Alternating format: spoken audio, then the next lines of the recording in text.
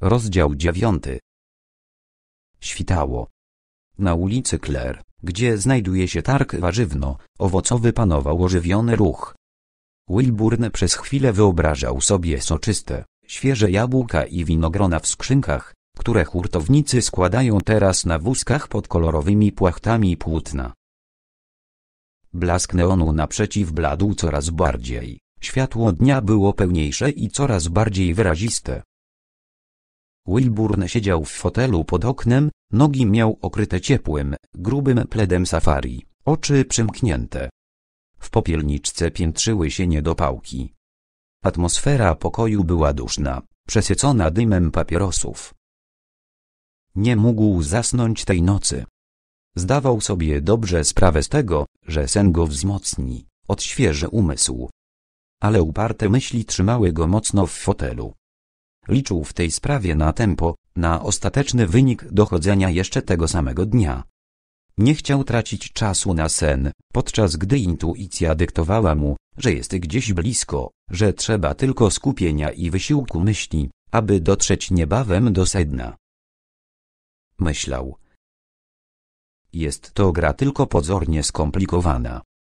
Jesteśmy fachowcami, a przeciwko nam występują amatorzy. Tej zbrodni nie dokonał przecież mistrz z tej prostej przyczyny, że mistrzowie nie istnieją.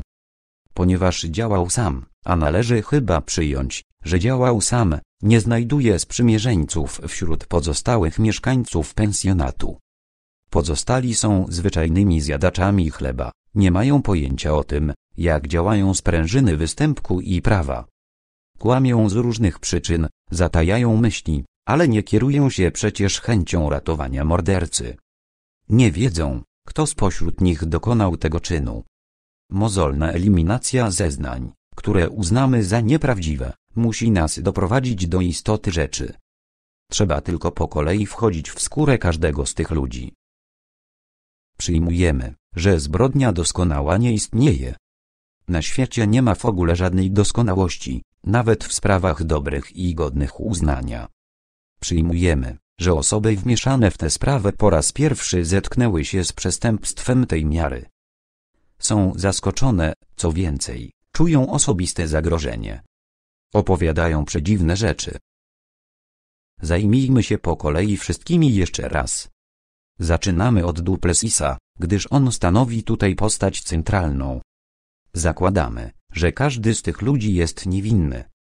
To oczywiście absurd, bo jeden z nich na pewno jest mordercą, ale ponieważ nie wiemy, kto nim jest, musimy przyjąć uproszczenie. Tak więc Duplessis powiada sobie. Wiem, że jestem niewinny. Kto moim zdaniem mógł zabić? Baronowa. Będę jej bronił. Baronowa myśli. Jestem niewinna. Kto jest winny? Podejrzewamy Duplessisa z powodu epizodu z papierosami. Hayes myśli. Jestem niewinny zbrodni zabójstwa. Kto zabił Marię Van? Nie wiem, nie domyślam się nawet. Ponieważ jednak dokonałem włamania do sekretery baronowej, byłoby dobrze pozbyć się właśnie baronowej. Nie jestem łajdakiem, więc nie będę jej oskarżał wprost. Mogę jednak rzucić cień podejrzenia. Zeznamy podczas przesłuchania, że baronowa kręciła się w pobliżu pokoju kredensowego, skąd pochodzi nóż. Dodam również, że baronowa, spotkana przeze mnie na korytarzu, była wzburzona. Czy Hayes rzeczywiście tak właśnie rozumuje? Oto wątpliwość. W odniesieniu do rozumowania Duplessisa i Baronowej nie mam zastrzeżeń. Inaczej z Hayesem. Obawiam się, że upraszczamy jego zamiary. Są w tym logiczne luki. Zasadnicza luka tkwi w upływie czasu. Hayes dokonał włamania do sekretery owego pamiętnego wieczora. Jest rozsądny na tyle, aby zdawać sobie sprawę, że baronowa zauważyła włamanie i kradzież. Ale Hayes wie jednocześnie, że baronowa nie złożyła doniesienia o włamaniu. Sprawa byłaby głośna. Baronowa zawiadomiłaby mnie i Garneta, wreszcie pozostałych mieszkańców. Tak więc Hayes wie, że baronowa zataiła włamanie do sekretery. I nie jest z tego powodu zdziwiony. Zapewne oczekiwał takiego rozwoju wydarzeń. Był przekonany, że baronowa nie powie ani słówka o włamaniu. Płynie stąd prosty wniosek, że sam fakt włamania łączy Hayesa i baronową niewidzialną nicią tajemnicy. Hayes nie obawia się represji ze strony baronowej. Jakiż więc miałby cel w rzucaniu na nią podejrzeń o morderstwo? Jest tylko jeden rodzaj kradzieży, o którym poszkodowany nie mówi policji. Gdyby Hayes zabrał baronowej pieniądze lub biżuterię, podniosłaby alarm. Hayes zabrał coś, co baronowa starannie ukryła przed światem. Baronowa lęka się teraz, aby złodziej nie ujawnił przedmiotu kradzieży. A złodziej o tym wie i dlatego czuje się bezpieczny. Nie tylko ukradł, ale teraz zjawi się przed baronową i oświadczy spokojnie, moje milczenie kosztuje tyle a tyle. W przeciwnym razie odkryję twoją tajemnicę, droga baronowo. I droga baronowa zapłaci sowicie za zwrot przedmiotu i zachowanie tajemnicy. Tak więc Hayes ukradł jakiś dokument, może list, może paczkę listów. Teraz rozpocznie się drugi rozdział, szantaż. Zapewne byłby już przystąpił do dzieła, ale morderstwo pomieszało mu szyki. Jest czujny, ostrożny, wolałby przeczekać. Jeśli tak jest w istocie, Hayes nie powinien wcale życzyć baronowej oskarżenia o morderstwo. Oskarżona, a nawet skazana, straci dla niego całą wartość. Ukradziona korespondencja nie będzie wtedy warta pięciu franków. Tak więc rozumowanie Hayesa jest bardziej zawiłe. Jednakże znowu wracamy do osoby baronowej. Ta kobieta straciła coś, co było jej tajemnicą. Jednym spojrzeniem ogarnęła cały bezmiar swej klęski. Włamanie do sekretery, kradzież, koniec. Czy baronowa jednak wie, kto włamał się do sekretery? Potrzebne mi są wszystkie siły umysłu, bo muszę odeprzeć narzucające się wnioski, które przecież są absurdalne. Przychodzi mi do głowy, że baronowa podejrzewa Marię Van o włamanie i wydarcie świętej tajemnicy. W łazience domaga się zwrotu dokumentu czy listu, a gdy Maria odmawia, baronowa zabija ją nożem do żłowania mięsa. Byłoby to nad wyraz piękne i logiczne rozwiązanie, gdyby w tym kraju zegary mogły chodzić wstecz, a noże poruszać się w powietrzu. A jednak, Trzeba dokładnie rozważyć tę ewentualność. Cała koncepcja jest zbudowana na kruchych podstawach źle odmierzonych minut, a może nawet sekund. Jeszcze raz, jeszcze raz. Kiedy Hayes dokonuje włamania, baronowa jest w łazience i rozmawia z Marią Van. Być może jest to naprawdę rozmowa konwencjonalna. Wtedy baronowa nie ma w ręku noża i nie ma jeszcze podstaw do zabicia Marii Van. Kiedy jednak wraca do siebie, stwierdza, że dokonano włamania. Znajduje nóż porzucony przez Hayesa w pośpiechu. W umyśle baronowej rodzi się podejrzenie. To Maria Van okradła mnie i będzie szantażowała. Wraca do łazienki, domaga się zwrotu dokumentu, a wreszcie zabija. Oczywiście to bzdura od początku do końca. Mój umysł pracuje haniebnie. Wszystko jest pozbawione podstaw. Hayes nie mógł zgubić noża. Baronowa nie mogła prowadzić pogodnej rozmowy z Marią, gdyż Duplessis nie miałby wówczas powodu do podejrzeń i obaw. Maria Van nie mogła dokonać włamania, bo leżała w wannie, rozebrana i rozmawiała właśnie z baronową. Baronowa nie mogłaby więc obarczyć Maryi podejrzeniem.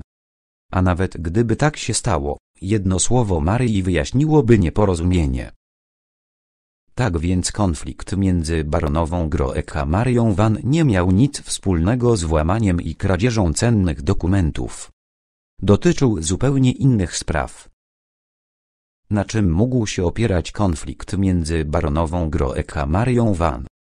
Odpowiedź na to pytanie zadecydować może o wszystkim. Duplessis jest człowiekiem zrównoważonym. Lektura Tacyta i Swetoniusza nauczyła go sceptycyzmu. Jeśli Duplessis poczuł się wstrząśnięty i przerażony, to znaczy, że konflikt między dwiema kobietami był rzeczywiście poważny, drapieżny, śmiertelny. Nie chodziło więc bynajmniej o poglądy na życie, o sposób bycia, o moralność na co dzień.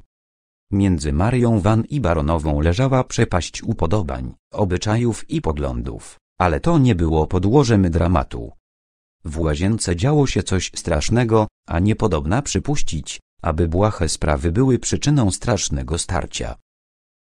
Tylko wielkie namiętności, które się wyzwalają, mogły wzbudzić przerażenie w sercu profesora Duplessisa. Tylko wielkie namiętności. Młoda i piękna kobieta mieszka pod jednym dachem z kobietą starą i brzydką. Nie przeszkadzają sobie wzajemnie. Nie łączy ich wprawdzie sympatia, ale nie dzieli wstręt. Nagle zjawia się tam młodzieniec tak piękny, jak gdyby sfrunął prosto z gwiazd. Filip Bendin zostaje kochankiem Marii Van. Stara kobieta, otyła, zamożna, skrupulatna, ustosunkowana i samotna, patrzy na to z potoka. Początkowo udaje obojętną, potem. Potem jak w marnym melodramacie. Miłość baronowej Groek do Filipa Bendina sprawia, że nóż do żyłowania mięsa zagłębił się w sercu Marii Van. Odrzućmy tę ewentualność. Jest pikantna, ma pozory prawdopodobieństwa, doskonale pasuje do francuskiej tradycji literackiej, ale jest pozbawiona powagi. Baronowa Groek nigdy nie była, nie jest i nie będzie namiętną kochanką, która z nożem w ręku walczy o ukochanego. Ten ukochany ma dwadzieścia lat i mógłby być jej synem. Zostawmy to. Coraz bardziej schodzimy na manowce, tracimy busole, aparat logiczny ustawicznie zawodzi. Wracajmy do punktu wyjścia. Oto Filip Bendin myśli. Jestem niewinny. Kto mógł zabić Marię, moją ukochaną Marię? Podejrzewam wszystkich.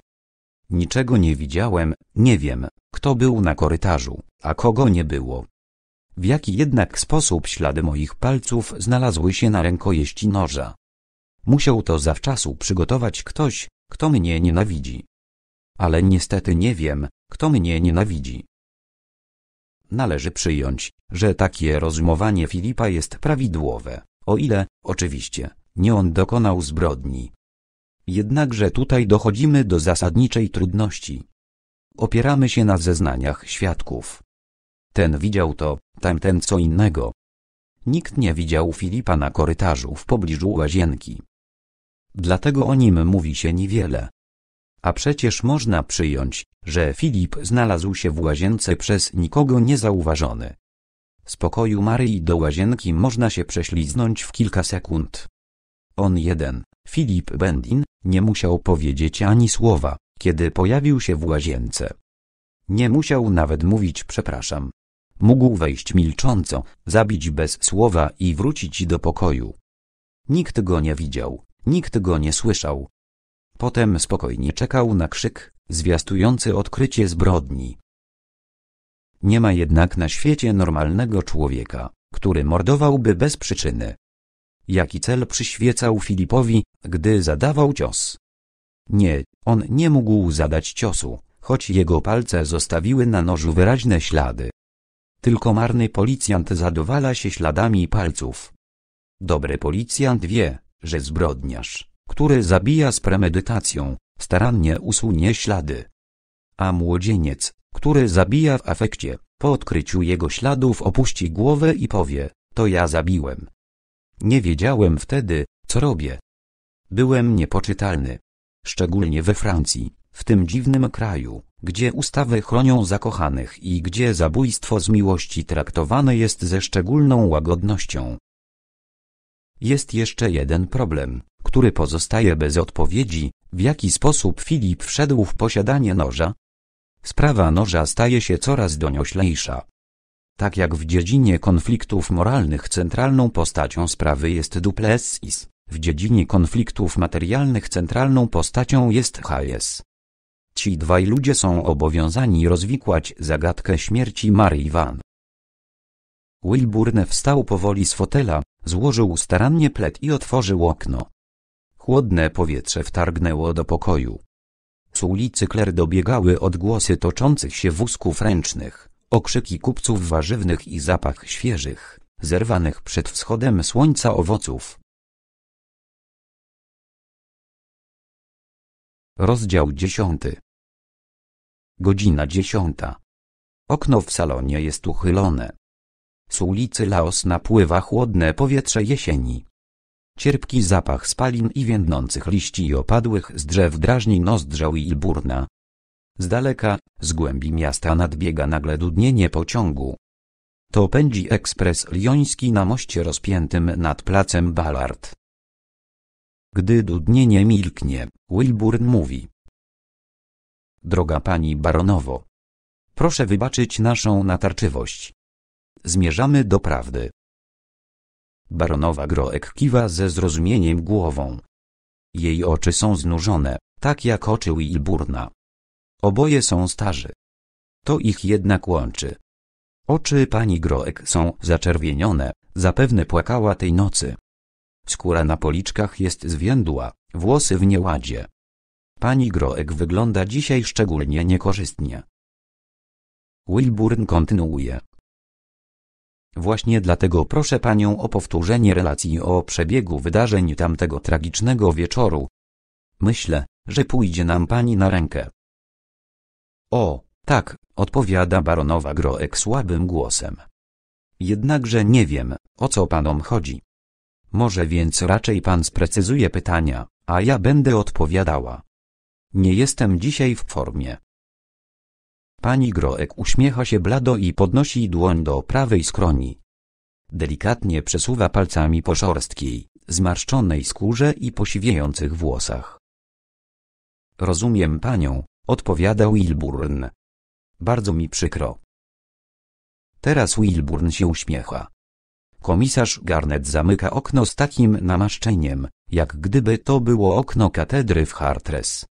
Garnet jest dzisiaj w ciemnowiśniowych butach, fason włoski, wypustka zamszowa. Buty wydają przy każdym kroku komisarza smutny, jednostajny dźwięk, jak pisk duszonej myszy. Wilburn czuje odrazę do wszystkich kontynentalnych butów. Teraz siedzą naprzeciw siebie. Wilburn i pani baronowa. Komisarz odchodzi na drugą stronę salonu, pod wielki zegar. Jego dwie myszy, piszcząc, biegną za nim i przed nim, jak straż. Tak więc, powiada Wilburn, zaczynamy. Baronowa znowu się uśmiecha i powoli, starannie zapala papierosa, granada. Pani była w łazience tylko raz, czy tak? Delikatne drgnienie ręki trzymającej papierosa. Baronowa. Tak. Tylko raz. Jak długo pani tam zabawiła? Ach, bardzo niedługo, proszę pana. Czy może pani jednak dokładniej określić czas? Baronowa zaciąga się dymem, mała zmarszczka pojawia się na jej czole. Może dwie, trzy minuty. Nie dłużej. Pani była w płaszczu kąpielowym? Oczywiście. Zamierzałam się kąpać. Czy panna wannie zrobiła na pani wrażenia zaniepokojonej, zdenerwowanej? Baronowa przez moment milczy, po czym odpowiada. Nie. Nie sądzę. A pani? Nie rozumiem. Pytam, czy pani nie była wtedy zaniepokojona lub zdenerwowana? Baronowa znowu zaciąga się papierosem, na jej ustach pojawia się uśmiech. Wilburn zauważa, że te usta są bardzo wąskie i sztucznie zaciśnięte. Baronowa. Ależ nie. Czułam się normalnie. Wilburn wyjmuje teraz playersy, otwiera paczkę, wysypuje na dłoń okruszyny tytoniu, wrzuca je do popielniczki. Trwa to szczególnie długo. Milczenie. Wilburn zapala papierosa, patrzy w płomek zapałki, rzuca ją powoli do popielniczki. Mówi. Czy pani poniosła ostatnio jakąś stratę? Nie, odpowiada baronowa szybko. Za szybko. Stanowczo za szybko. Wilburn patrzy jej w oczy, mówi. Sekretera w pani pokoju jest. Ach, to, przerywa baronowa Groek i znowu uśmiecha się pogodnie. Pan ma na myśli moją sekreterę. Cichy śmiech, dobitny, trochę za wysoki w tonacji, trochę za bardzo beztroski. i ruch ręki, salonowy, bagatelizujący. To drobiazg. Tego dnia po południu zagubiłam gdzieś kluczyk od szuflady. Trzymam tam pieniądze.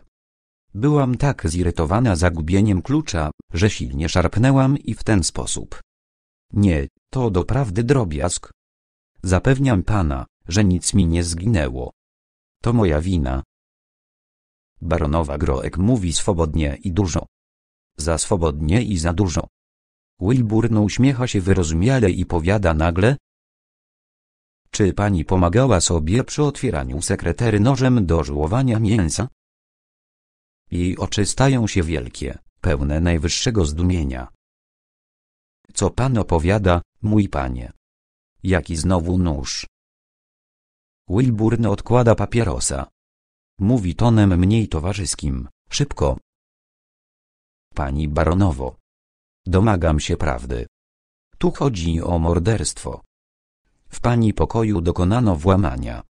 Włamywacz posługiwał się nożem, którym zabita została Maria Van. Krąg podejrzanych jest niewielki. Włamanie ma związek z morderstwem. Nie ma żadnego związku, przerywa okrzykiem pani Groek i nagle blednie. Jej stare, pomarszczone ręce drżą. Wilburn jednak nie chce patrzeć na jej ręce. Budzą współczucie, a teraz nie ma na to czasu. Mówi. Domagam się prawdy. Proszę powiedzieć wszystko. Ciąży na pani straszne podejrzenie. Będę zadawał pytania. Jestem upoważniony przez komisarza Garneta, aby oświadczyć, że wolno pani nie odpowiadać, jeżeli uzna pani, że odpowiedź zaszkodzi interesowi obrony. Baronowa Groek na moment zamyka oczy, podnosi dłoń do skroni, mówi. O ile wiem, ten przepis odnosi się do osób bezpośrednio podejrzanych. Tak jest, przerywa oschle Wilburn. Niestety, tak jest.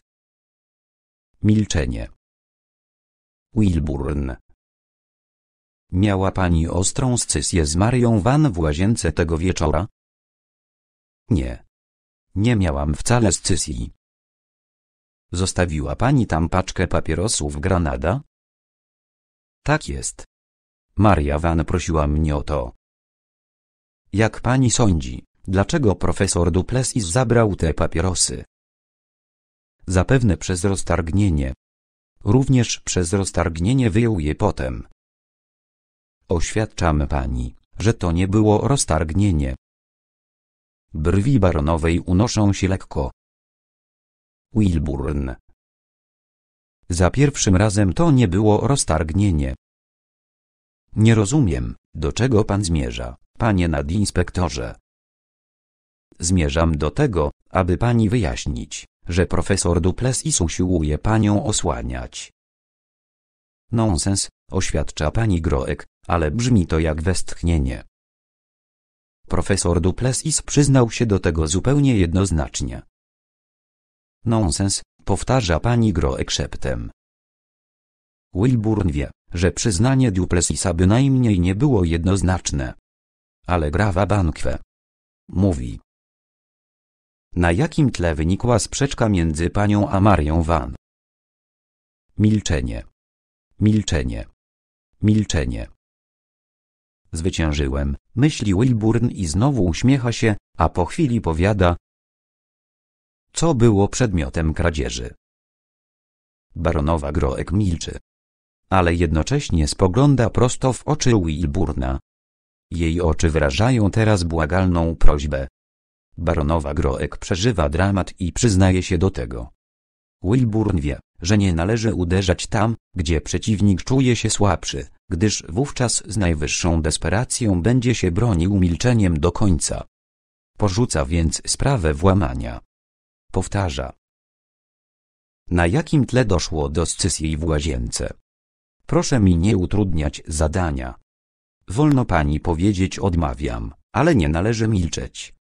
Co znaczy słowo odmawiam, wyjaśniliśmy bez reszty. A więc...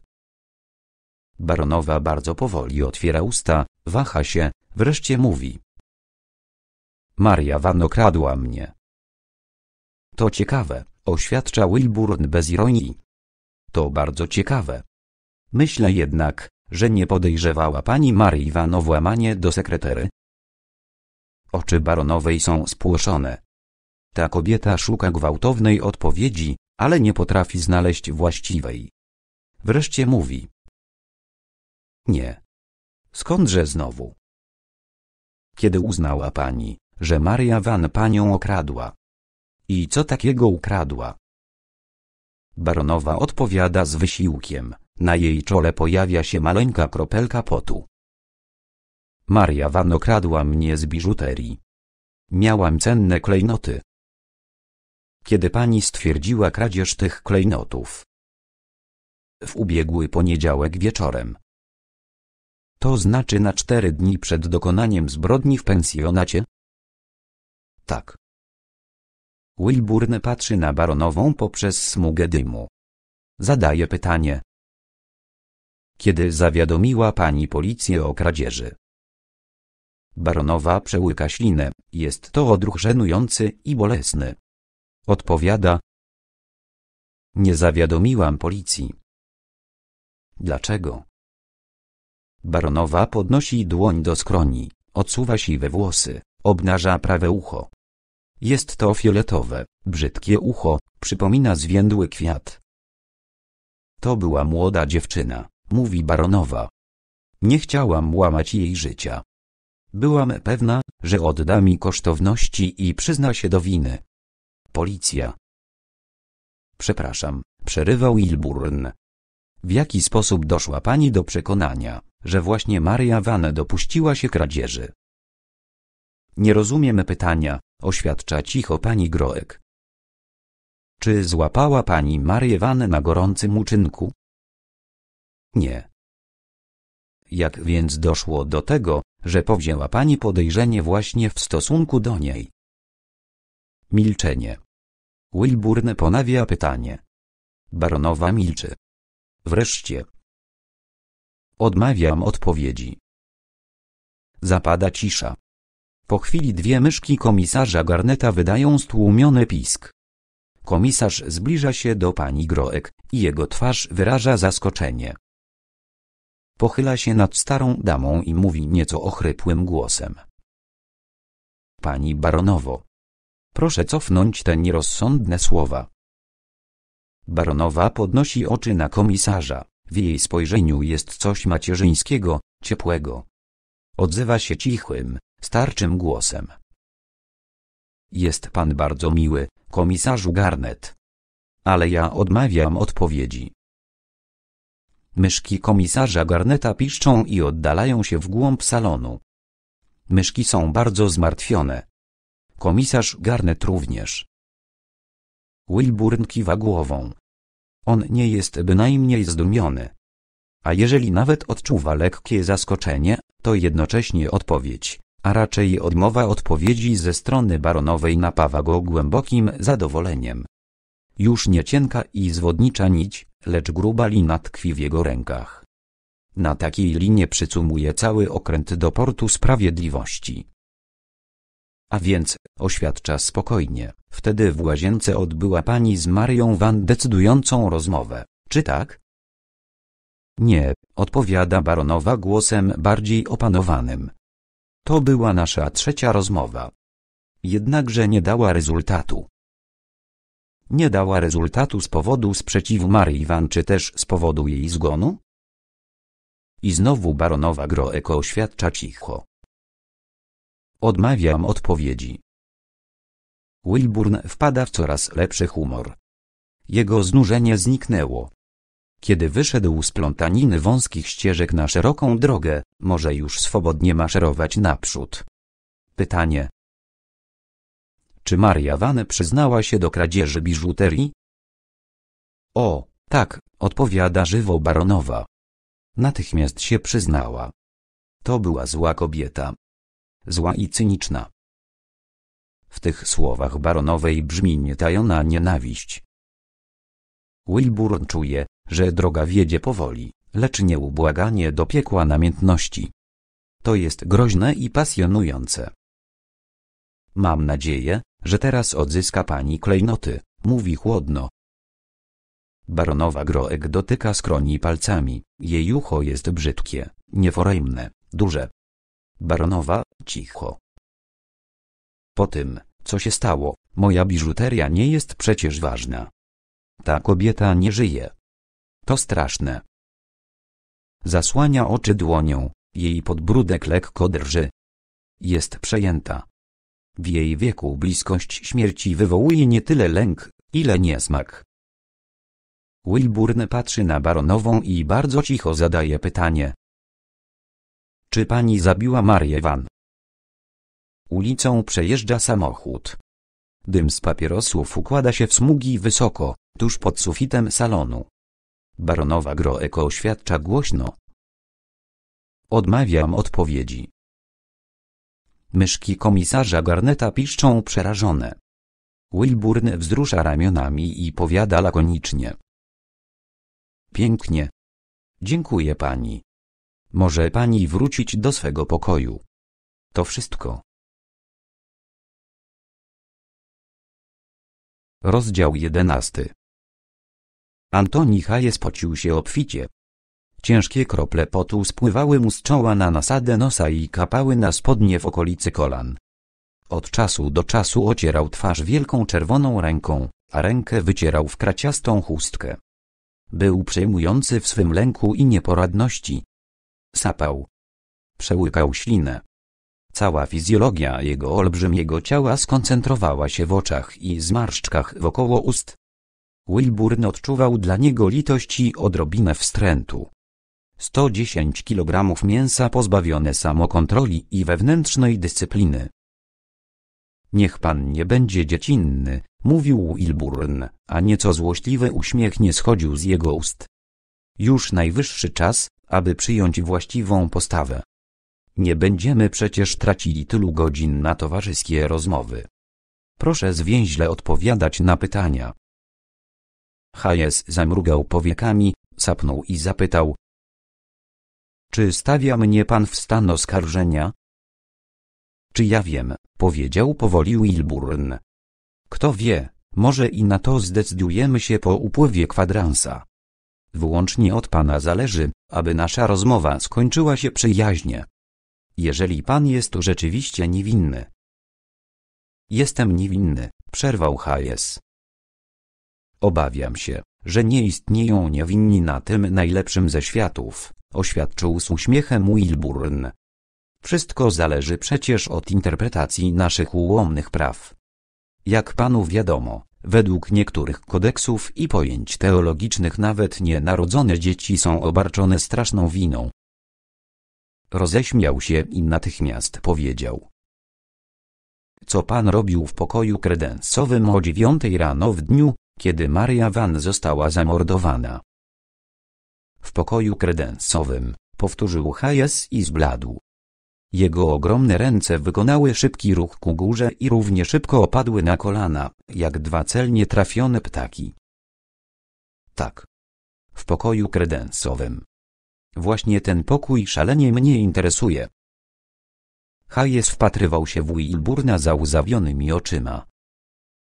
Proszę pana, wyszeptał i umilkł. Ale nagle zmienił się. Szeroki uśmiech odsłonił duże zęby i różowe dziąsła. Ależ oczywiście. Coś podobnego. No, wie pan. Śmiał się cicho, wylewnie. Brzmiało to jak gruchanie gołębicy. Ale jego oczy pozostały czujne. Panu chodzi o ten nieszczęsny nóż. Zupełnie o tym zapomniałem. Tego dnia rano zabrałem nóż z pokoju kredensowego, aby...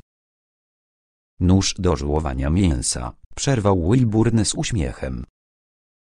Tak jest, skwapliwie podjął Hayes. W moim pokoju jest wentylator. Chciałem go nieco uchylić, ale klapka się zacięła. Potrzebowałem noża, aby ją podważyć. Właśnie dlatego wziąłem nóż z pokoju kredensowego. Wilburn kiwał głową z aprobatą. Powiedział. No, widzi pan. Wszystko się wyjaśniło. Szkoda, że pan dopiero teraz powiedział o tym nożu, panie Hayes. Hayes uśmiechnął się z lekkim zażenowaniem. Doprawdy zapomniałem. To zupełnie idiotyczne, ale doprawdy zapomniałem. O, tak, odparł Wilburn. To zupełnie idiotyczne. Wprost przerażająco idiotyczne. Zapomniał pan o nożu, który tkwił w sercu zamordowanej. Coś niebywałego, panie Hayes. Hayes uśmiechał się dalej, ale to był już martwy uśmiech, pozbawiony wszelkiej treści. Pusty grymas, sparaliżowany na wargach. A więc otworzył pan sobie wentylator, żeby było chłodniej i przyjemniej, kontynuował Wilburn. A potem? Co pan potem zrobił z tym nożem? Czy wbił go pan w pierś Mary Van, drogi przyjacielu? To nieprawda, krzyknął Hayes. Pan lepiej wie, czy to jest prawda, czy nie, panie Hayes. Tylko od pana zależy, czy i ja będę wiedział dokładnie, co stało się z tym nożem. Hayes milczał. Wilburn mówił dalej, spokojnie i cicho. To jest właściwie dobry interes dla obu stron, panie Hayes. Ale stanowczo lepszy dla pana niż dla mnie. Mnie zależy tylko na wykryciu sprawcy, a panu zależy na własnej głowie. Jeżeli nie dogadamy się dzisiaj, ja stracę satysfakcję, ale nie stracę nic ponadto. Wyjadę do Londynu przez Folketone, a potem dalej na północ. Mam tam swój cichy kącik. Hodowla róż, pan pojmuje. Tymczasem pan zostanie tutaj, w tym mieście, zapewne na bulwarze Raspail, nieopodal Herchet Midi. Komisarzu Garnet. To jest nieopodal Herchet Midi, jeśli mnie pamięć nie myli. Komisarz Garnet uśmiechnął się słodko i powiedział. Bardzo blisko, panie nadinspektorze. Ale stamtąd nie widać żadnej ulicy. Okna w celach są umieszczone szalenie wysoko. Co za brednie, krzyknął Hayes i wytarł twarz ręką. Co za brednie. Panie Hayes, podjął Wilburn bez szyderstwa. Proszę zrozumieć moje położenie. Najkrótsza droga jest najwygodniejsza. Zawsze wybieram właśnie taką drogę. Milczeniem skazuje się pan na straszną tragedię. Nóż, który miał pan w ręku, znaleziono w piersi zamordowanej. Niech pan ode mnie nie wymaga zbyt wiele. Nie zamierzam bronić pańskiej głowy przeciwko panu. Obrona pana jest prosta. Proszę wskazać nam ślad. Gdzie pan podział ten nóż po operacji z wentylatorem? Ależ tak, zawołał Hayes, oczywiście. Nie mogłem dojść do głosu. Ten nóż zostawiłem na stoliczku w korytarzu, obok schodów. W korytarzu, obok schodów, powtórzył Ilburn. Tak jest. No, cóż, powiedział Ilburn. Myślę, że komisarz Garnet obejrzy sobie ten wentylator. Hayes zmarszczył brwi, siedział chwilę milcząco, potem rzekł. Nie rozumiem, co to ma do rzeczy. Tylu rzeczy nie rozumiemy, ale zgadzamy się na nie, odrzekł Ilburn, a komisarz Garnet z uśmiechem wyszedł z salonu. Hayes odprowadził go wzrokiem, a potem powiedział. Panie nadinspektorze, ja naprawdę nic więcej nie wiem. Rzeczywiście? Naprawdę. Ja ten nóż wziąłem, aby otworzyć klapkę wentylatora. Chodziło o wentylator. Jeżeli rzeczywiście chodziło o wentylator, to dlaczego pan się denerwuje? Wobec tego wszystko jest w porządku. Ja się wcale nie denerwuję. Nie mam nic do ukrycia. Oczywiście, oczywiście, rzekł Wilburn i wstał. Podszedł do okna. Hayes obserwował go uważnie. Wilburn popatrzył na niego i obdarzył serdecznym uśmiechem. Głowa do góry. Wszystko zaczyna się i kończy na niewinnym wentylatorze. No, tak, mruknął Hayes i kropelka potu stoczyła się po jego czole. W tej chwili otworzyły się drzwi i wszedł komisarz Garnet. Jego twarz zwiastowała sensację. Już na progu powiedział z triumfem. Oto co znalazłem w wentylatorze. I położył na stole zawiniątko. Hayes zmarszczył brwi, a jego oczy zaczęły biegać niespokojnie. Wilburn podszedł do stołu. Ujrzał mały skórzany woreczek, związany skórzanym rzemykiem. Rozplótł rzemyk i wysypał na stół zawartość woreczka. Była to biżuteria. Kilka pierścionków, ciężka złota bransoletka, niewielki, ale piękny rubin w platynowej oprawie, wreszcie kilka brylantów luzem. Jest pan nieostrożny, rzekł Ilburn. Trzymać takie rzeczy w wentylatorze. Hayes wyjąkał. Co to znaczy? Jak to? Zdziwił się Wilburn. Pan wydaje się zaskoczony. Czy to nie jest pańska własność? Hayes oblizał wargi, przełknął ślinę. Właściwie, powiedział, właściwie to. Urwał i patrzył na kosztowności załzawionymi oczyma. Wilburn roześmiał się głośno. I nagle krzyknął. Mam tego dość. Bez głupstw, Hayes. Czy to jest pańska biżuteria? Nie, rzekł cicho Hayes. Ale doprawdy. Bez wielu słów. Skąd pan to ma? Ja nie wiem. Pan oszalał? Może rzeczywiście oszalałem, powiedział Hayes martwym głosem. Nic z tego nie rozumiem. I nagle wstał, wyprostował się i zaczął mówić gorączkowo, chrapliwie. Nie wiem nic o tych kosztownościach. Ja tego nie ukradłem. Przecież gdybym schował ukradzioną biżuterię w wentylatorze, nie wskazywałbym właśnie na wentylator. Jestem zupełnie niewinnym człowiekiem. Ktoś wmieszał mnie w straszną grę. Nie mamy z tym nic wspólnego. Dość, przerwał Ilburn. Ja dobrze wiem, że pan nie ma z tym nic wspólnego. Zgadzamy się w tym punkcie. Powiedział pan to, co właśnie myślałem. Pan jest zaskoczony odkryciem komisarza Garneta. Bardzo pięknie. Niemniej pan ukradł te klejnoty. To nieprawda, krzyknął Hayes. To prawda. Włamał się pan do sekretery baronowej Groek i zabrał schowane tam klejnoty. Mój Boże, zawołał Hayes i usiadł ciężko. Miał zamknięte oczy i nabrzmiałe żyły na skroniach. Wilburn obserwował go w skupieniu. Rzekł.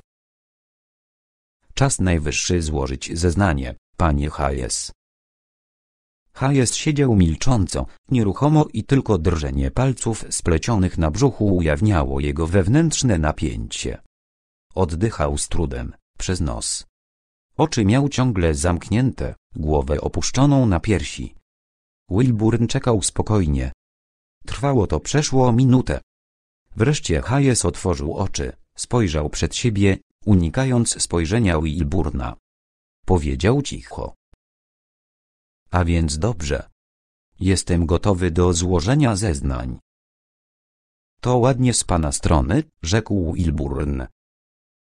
Zrobiłem głupstwo, oświadczył Hayes nieco spokojniej, wyraźniejszym głosem i odchrząknął. Zrobiłem wielkie głupstwo. Jestem w kłopotach. To się zdarza. Oczywiście, wtrącił Wilburn. Coś mnie opętało, ciągnął Hayes. Byłem przyzwoitym człowiekiem. I nagle coś mnie opętało. Zdarza się, znowu wtrącił Wilburn ciepło, przyjaźnie. Baronowa Groek jest zamożna. Bardzo zamożna. Cóż, stało się. Ukradłem te klejnoty. Szczerze tego żałuję. Rozumiem pana, Hayes, rzekł Wilburn. To smutne tak się obnażać przed obcymi ludźmi. W metodach policyjnych jest coś, co przypomina katolicyzm. Taka spowiedź twarzą w twarz. Bardzo nieprzyjemne, ale niestety konieczne. Jeżeli zaszedł pan już tak daleko, to niech pan zrobi jeszcze jeden krok. Proszę nam powiedzieć, jak pan ukradł te klejnoty. Hayes znowu przymknął oczy, odsapnął i powiedział szybko. Wiedziałem, że baronowa trzyma biżuterię w sekreterze. Wziąłem nóż i podważyłem zamek. To było nawet proste. Potem zabrałem kosztowności. A nóż? Nóż, powtórzył zaskoczony. I dodał szybko. Nie pamiętam.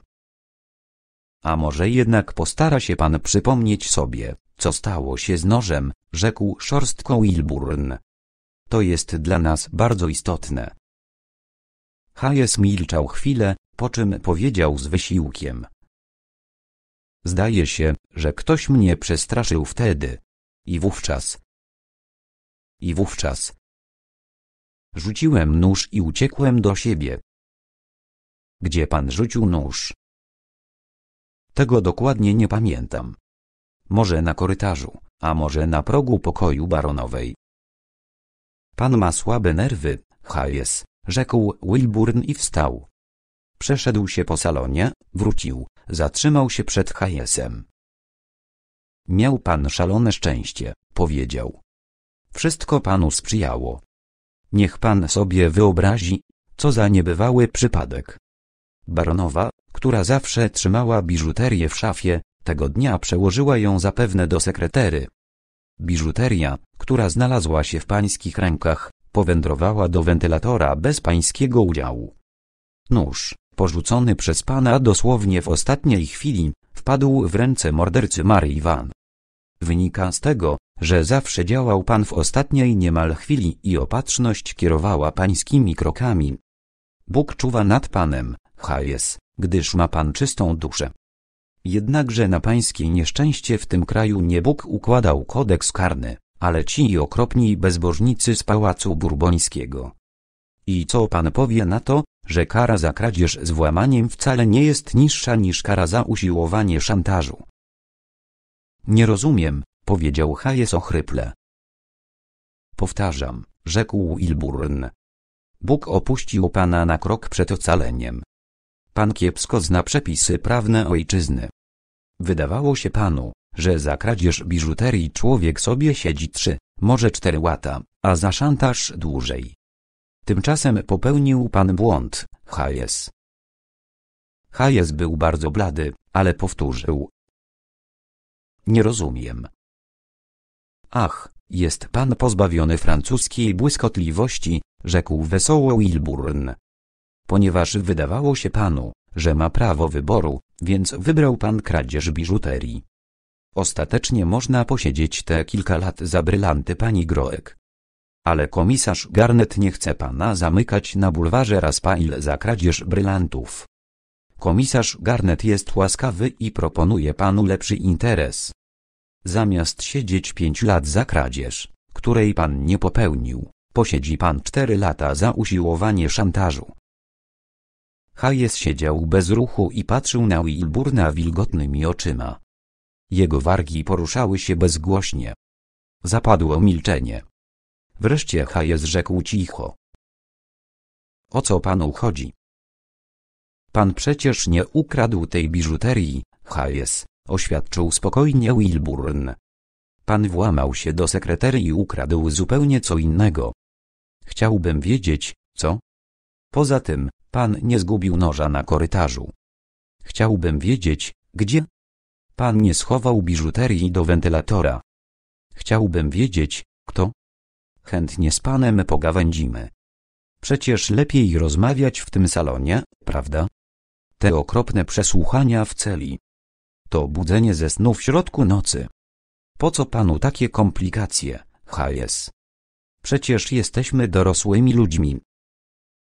Hayes z zamkniętymi oczyma, znużonym głosem powiedział. Ma pan rację. Powiem całą prawdę. Jest pan rozsądny, oświadczył Wilburn. Bóg pana nie opuścił.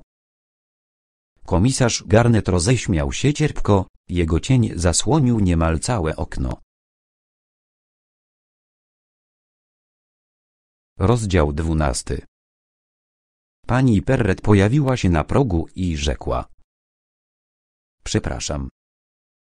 Przeszła przez pokój miłym, lekkim krokiem i zasłoniła story w oknach. Nagle zapadł mrok, lecz pani Perret nacisnęła kontakt i światło zalało salon. Wtedy usiadła w fotelu w typowej dla siebie dziecinnej, może niewygodnej pozycji z ramionami opuszczonymi ku dołowi, obejmując kolana splecionymi rękoma. Uśmiechała się łagodnie, ale jej oczy były skupione i poważne. Jestem do pana dyspozycji, powiedziała. Wilburn patrzył na nią długo w milczeniu. Była niepozorna, słaba fizycznie, a poza tym nie wchodziła wcale na górę. Czy rzeczywiście? Pani Perret ma umiejętność poruszania się jak kot. Hayes również był przekonany, że w pokoju kredensowym jest zupełnie sam. Kto wie, czy pani Perret naprawdę cały wieczór spędziła w mieszkaniu na dole. Wilburn nagle przypomniał sobie zdanie pewnego pisarza o jego bohaterce. Należała do tych kobiet, które przez długie lata cierpią milcząco, aby u schyłku życia zdobyć się na zbrodnie.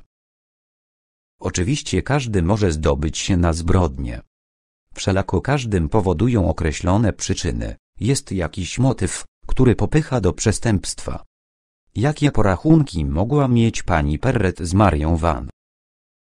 Pytanie raczej spóźnione.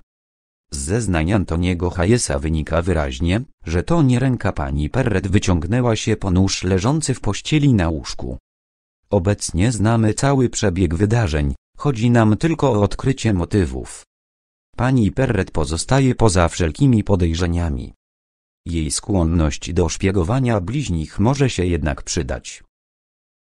Wilburn stwierdził nagle, że odczuwa do pani Perret szczególną niechęć. Nie był z tego zadowolony. Człowiekowi, który szuka prawdy, wszelkie uprzedzenia utrudniają dotarcie do celu. Pani Perret uśmiechała się łagodnie. Milczała, oczekując pytań. Tak więc, powiedział Wilburn, była pani przez cały czas na dole tamtego wieczoru. Tak, odparła pani Perret. Poszłam na górę, kiedy usłyszałam krzyk profesora. Pani poszła? Tak jest. A więc poszła, nie pobiegła? Pani Perret lekko wzruszyła ramionami. Na jej twarzy pojawił się rumieniec. Oczywiście, że pobiegłam. Nie dobieram słów podczas rozmowy z panem. Wilburn skinął głową. Wiedział, że kłamała. Oczywiście poszła swoim lekkim, spokojnym, niemal skrzydlatym krokiem. Nie biegła po schodach, lecz stopień po stopniu bezszelestnie weszła na pierwsze piętro.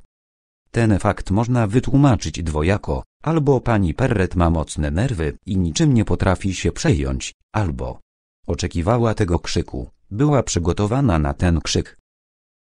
Co pani robiła, kiedy rozległ się krzyk? Czytałam książkę, odparła pani Perret natychmiast. To się zgadza, rzekł Wilburn z uśmiechem. Czytała pani powieść sensacyjną i była pani właśnie na stronie 34, gdy Duplessis podniósł alarm.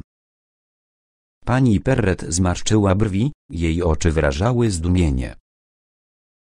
Jesteśmy dobrze zorganizowani, powiedział Wilburn. Komisarz Garnet był przecież w pani pokoju natychmiast po przybyciu tutaj. Książka leżała na stoliku przy lampie. Tak jest, wtrąciła pani Perret z napięciem. Książka była zamknięta, kontynuował Wilburn, a zakładka tkwiła na stronie 34. Pani Perret roześmiała się swobodnie. Jej napięcie minęło. To bardzo zabawne, rzekła. Nie przypuszczałam, że panowie z policji notują nawet takie drobiazgi. To nie są drobiazgi, odparł Ilburn. Proszę tylko pomyśleć. Nauczę panią naszej metody rozumowania. Książka została spokojnie zamknięta, nawet włożoną między strony zakładkę. Wynika z tego, że nie śpieszyła się pani na górę. Mówiąc, poszłam na pierwsze piętro, mówiła pani prawdę. Właśnie poszłam, nie pobiegłam. Pani Perret znowu zarumieniła się, zacięła usta. I cóż z tego? Zapytała wyzywającym tonem. Płynie stąd wniosek, odparł Wilburn powoli, że pani oczekiwała krzyku na górze. Ten krzyk nie był dla pani zaskoczeniem. Nonsens, rzekła pani Perret. Pan się posuwa zbyt daleko. Droga pani, oświadczył Wilburn chłodno, wiemy o pani niemal wszystko, tak jak i o innych mieszkańcach tego domu. Znamy całą pani przeszłość. Udało się nam przejść pani śladami przez ostatnie dwadzieścia lat. Zapewniam panią, że nie posuwam się zbyt daleko. Mogę zrobić jeszcze nie jeden krok naprzód. Kiedy to mówił, pani Perret zmieniła się na twarzy. Teraz była blada, a jej głębokie oczy stały się niemal granatowe. Kiedy się odezwała, głos jej drżał. A więc dobrze. Wiecie o mnie wszystko, ale wiecie też wszystko o innych. Nie mamy z tą zbrodnią nic wspólnego. Moja przeszłość należy do mnie, nie do was. Nigdy nie przekroczyłam prawa. To, co robiłam, robiłam na własny rachunek. Nie wolno panu wykorzystywać mojej przeszłości. Nie wolno. Był to już krzyk.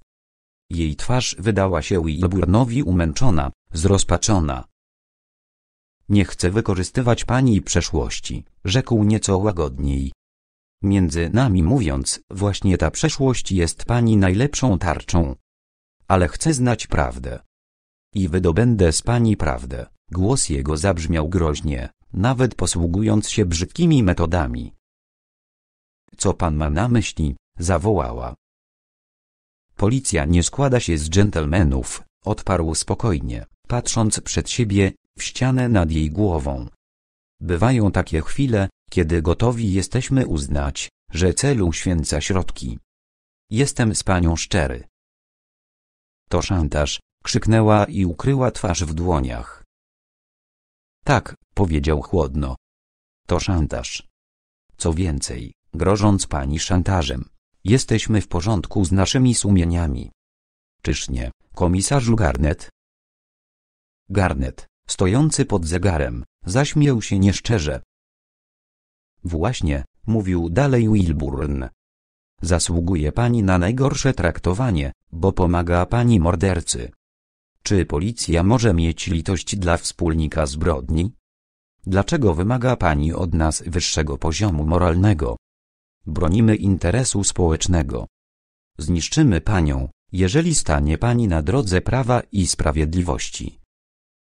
A czy to będzie sprawiedliwe? powiedziała cicho pani Perret. Nie myślę o tym, odparł żywo Wilburn. Przez cały czas myślę tylko o tej ładnej dziewczynie w wannie, której zabrano życie. Nagle pochylił się ku pani Perret, położył dłoni na jej dłoni. Pani Perret podniosła oczy. Błyszczały w nich łzy. Wilburn powiedział cicho. Ta dziewczyna była pani bliższa niż tamci wszyscy. Wiem o tym. Maria Van przypominała pani jej własną młodość. To jest cenne. Dwadzieścia lat temu Paulina Perret też drażniła ustabilizowany, moralny, zasobny świat swoim stylem życia. Paulina Perret była piękna i często zmieniała bogatych kochanków. Niech pan przestanie, wyszeptała pani Perret. Nie, odparł Wilburn i ujął jej rękę w dłonie. Nie przestanę. Nie jestem kaznodzieją i nie robię pani wyrzutów. To należy do przeszłości. Ale Maria Van zasługiwała przecież na pani współczucie. Nie udało się jej dopłynąć do tej cichej przystani, o której marzą wszystkie kobiety, takie jak pani i ona. Maria Van także marzyła o przyszłości. Odkładała pieniądze na taki sam skromny, milutki pensjonat przy ulicy Laos. Dlaczego pani płacze? Pani Perret płakała cicho i przejmująco. Wilburn delikatnie położył jej rękę na oparciu fotela. Wstał i odszedł na środek pokoju. Rzekł. Maria Van zasługuje na pani współczucie. Jest pani obowiązana pomóc nam w odkryciu prawdy. Podobny los mógł panią spotkać przed dwudziestu laty. Trzeba, żeby pani o tym pamiętała. Cisza. Pani Perret siedzi nieruchomo w fotelu, twarz zasłania rękoma. Już nie płacze, ale ciągle milczy. Wilbur Noschle? Proszę powiedzieć wszystko. W przeciwnym razie zniszczymy panią bez litości. Nie za przeszłość, która dla nas jest zupełnie nieistotna, ale za teraźniejszość. Pani Perret milczy uparcie. Wilburn wyjmuje papierośnicę, wyciąga playersa, zapala go i mówi. Pani była przedtem na górze, prawda? Pani Perret potwierdza ruchem głowy. W pobliżu łazienki, pytał Wilburn. Znowu ruch głowy. Pani widziała zwłoki? Ledwie słyszalny szept, jak najlżejszy podmuch wiatru w liściach drzewa. Nie. Wilburn zbliża się szybko do fotela, łagodnym ruchem ujmuje głowę pani Perret i podniósł ją ku górze. Patrzą sobie w oczy. Wilburn. Jak to było? Pani Perret z trudem panuje nad szlochem. Mówi łamiącym się głosem, zrezygnowana, zmiażdżona. Nie można uciec przed własnym losem. Nie można uciec od przyszłości. To, o czym chciała zapomnieć od tylu lat, wypływa teraz z całą wyrazistością. Upiory dławią gardło pani Perret. Jednak opowiada. Opowiada, gdyż to jest jej ostatnia szansa ocalenia. Czytała książkę u siebie w pokoju, ale nie mogła opędzić się od przykrych myśli. Dręczyły ją domysły związane z Hayesem i nożem do żłowania mięsa. Hayes był człowiekiem wzbudzającym jej podejrzenia. Nie była zadowolona z tajemniczych wizyt, składanych mu przez jegomościa nazwiskiem Martin, którego twarz napawała ją lękiem. Czytała książkę u siebie, ale ciągle zerkała w stronę oszklonych drzwi do holu.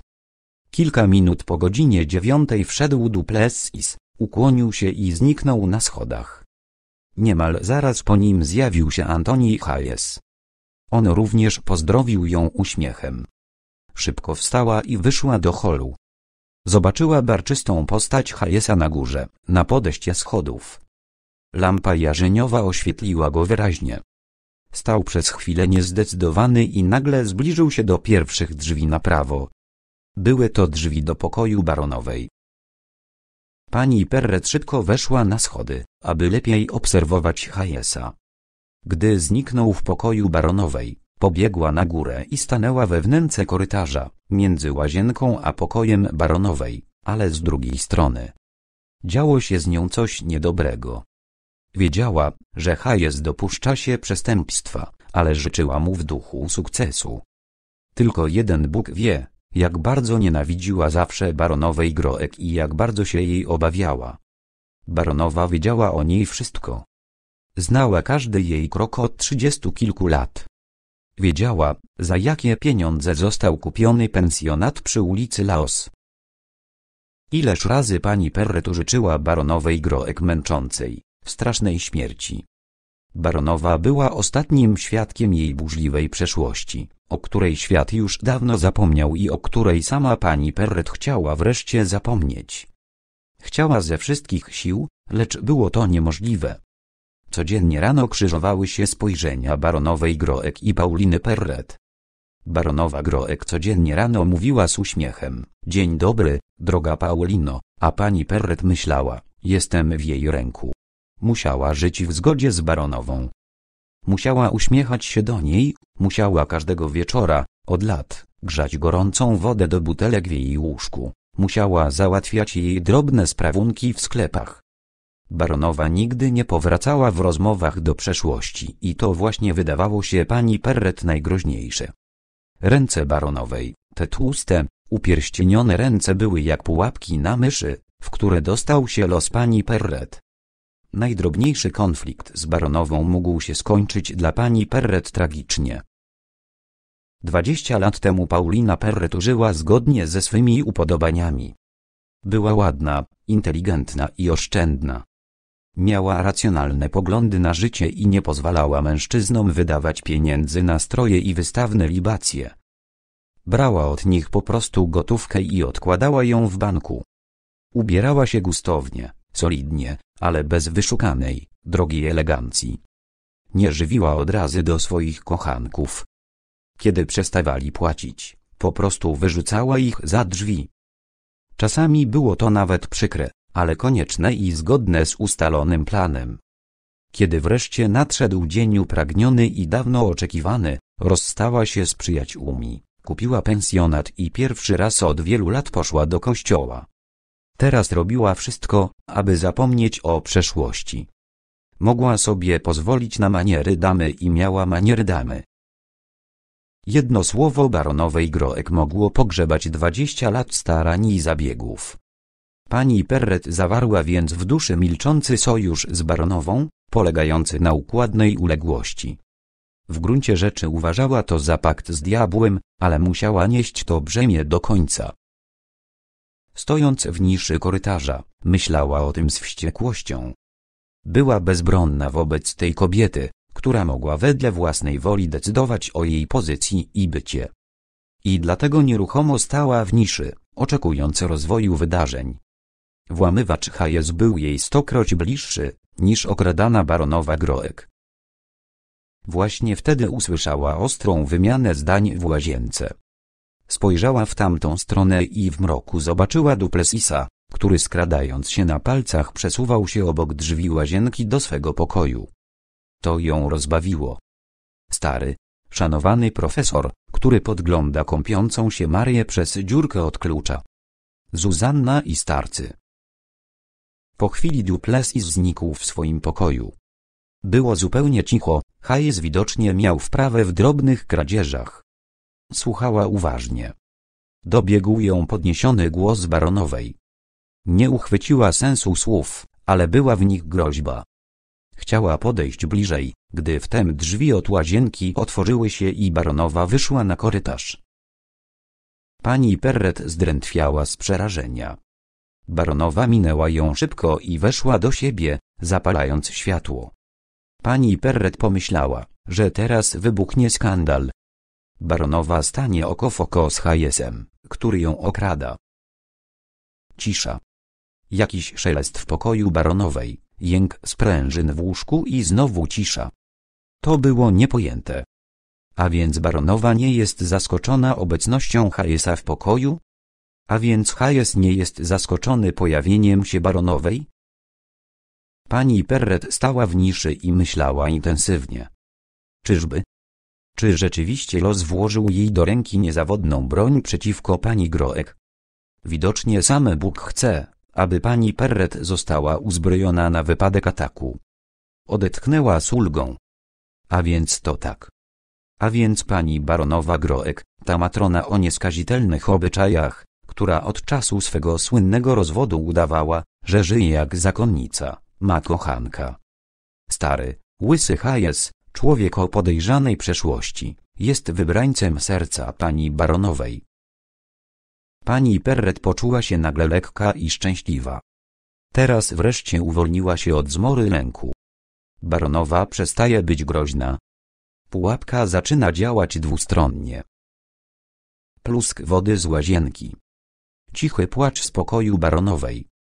Pani Perret znowu czuje się niepewna.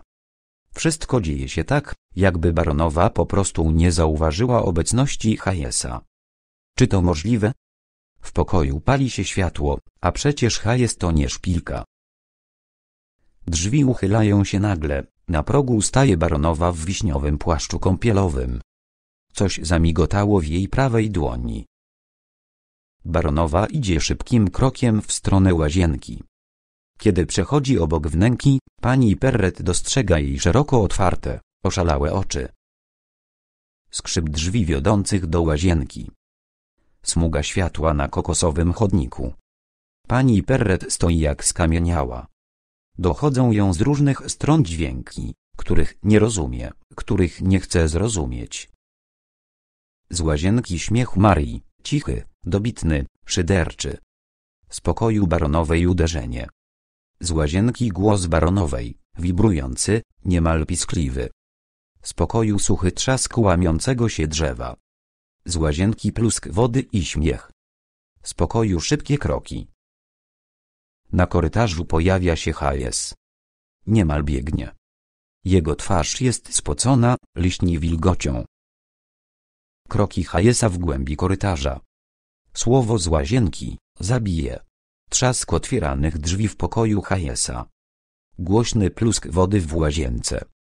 Trzask zamykanych drzwi w pokoju Hayesa. Smuga światła na kokosowym chodniku rozszerza się, staje w niej baronowa. Wygląda jak człowiek umarły. Pani Perret odzyskuje siły i odrobinę rozsądku. Jeżeli zostanie tutaj, w niszy, grozi jej zdemaskowanie. Nie wie, co się wydarzyło, ale podejrzewa coś strasznego. Nie wolno jej pozostać na miejscu, za żadną cenę. Pani Perret szybko przesuwa się wzdłuż ściany w kierunku schodów. Nie patrzy już teraz na baronową. Pani Perret ma przed oczyma jasny snop światła spływającego z lampy jarzeniowej nad schodami. Wszystkie jej myśli związane są z tą lampą. Czy uda się jej prześliznąć niezauważenie? To tylko dwa kroki, ale za plecami czuje niebezpieczeństwo. Pani Perret dotyka dłonią poręczy schodów. W tym momencie słyszy za plecami odgłos otwieranych drzwi i mimo lęku odwraca się szybko. Nie widzi baronowej, zapewne baronowa cofnęła się za próg łazienki. Widzi Hayesa, który wielkimi krokami, w płaszczu kąpielowym, przemierza korytarz. Pani Perret jednym skokiem jest na schodach. Całym ciałem lgnie do chłodnej ściany. Hayes znika na moment w pokoju baronowej, natychmiast ukazuje się z powrotem. Odchodzi szybko do siebie. Pani Perret widzi teraz, sama niewidoczna dla nikogo z korytarza, postać w wiśniowym szlafroku, która wychodzi wreszcie z łazienki. To baronowa. Chwiejnym krokiem idzie ku schodom. Pani Perret zbiega kilka stopni niżej. Nie widzi już teraz nic, ale słyszy wszystko dokładnie. Każdy szelest chłonie całym ciałem. Stąpanie baronowej na kokosowym chodniku. Cisza. Trzask drzwi. Cisza. Męskie kroki daleko, w głębi. Cisza. Trzask drzwi. Trzask drzwi. Cisza. Skrzyp drzwi, lekki, ledwie słyszalny. Jakieś słowo, którego niepodobna zrozumieć, krótkie słowo wypowiedziane głosem, którego niepodobna rozpoznać. Trzask drzwi. Cisza. Kroki. Skrzyp drzwi ledwie uchwytny. Kroki w głębi. Głos, zapewne Hayesa. Głos, zapewne Duplessisa. Cisza. Znowu trzask drzwi, jeden po drugim, bliżej i nieco dalej. Długa, męcząca cisza. Krzyk pana Duplessis, Maria Van nie żyje. Pan Duplessis pojawia się w górze schodów, pani Perret już wchodzi z powrotem. To wszystko. Dziękuję pani, powiada Wilburn. Jest zamyślony, stoi na środku salonu, pod żerandolem. Wygląda teraz staro, oczy ma zaczerwienione, zmarszczki na czole i wokoło ust. Pani Perret utkwiła w nim spojrzenie pełne niepokoju. Mówi. Wiem, o co pan teraz zapyta. Dlaczego nie powiedziałam tego wszystkiego natychmiast? Ach, Boże! Niechże pan zrozumie moją sytuację. Bałam się tej kobiety. To oskarżenie nie mogło wyjść ode mnie. Cóż z tego, że ona zostanie skazana. Ona może mnie przedtem zniszczyć. Na procesie musiałabym zeznać wszystko dokładnie. Umiałaby się bronić przede mną. Powiedziałaby wszystko, co wie. Tysiące ludzi czyta relacje z sądu. Nie zależy mi na jej życiu. Zależy mi na własnym życiu. Pani Perret mówi to wszystko głosem zbolałym, z trudem wydziera słowa z piersi. Jej oczy błagalnie patrzą na Wilburna. Pani Perret mówi dalej. Skierowałam wasze podejrzenia w jej stronę. Uważałam, że tak trzeba. Ale nie mogłam otwarcie przyznać się do tego, co wiem, co widziałam. Ona może mnie zmiażdżyć siedząc na ławie oskarżonych. Błagam pana. Niech pan nie żąda ode mnie publicznych zeznań. Ona nie może się dowiedzieć o tym, o czym teraz mówimy. Wilbur milczy, jest zasłuchany we własne myśli, słowa pani Perret nie docierają do niego. Pani Perret widzi to, czuje to, rozumie to. Jest przerażona. Powtarza gorączkowo swoją prośbę, niemal woła. Macie ją teraz. Weźcie ją sobie. Zasłużyła na to. Ale pozwólcie mi żyć. Nie mogę stracić tego wszystkiego, co stworzyłam i chroniłam przez całe lata upokorzeń i strachu. Nie wolno wam mnie niszczyć. Tak, tak, oczywiście, powiada Wilburn automatycznie i dalej patrzy przed siebie. Prześladuje go pewien motyw, pewien dźwięk, który nagle wdarł się w melodię całej sprawy i brzmi fałszywie. A może brzmi jak wielkie odkrycie?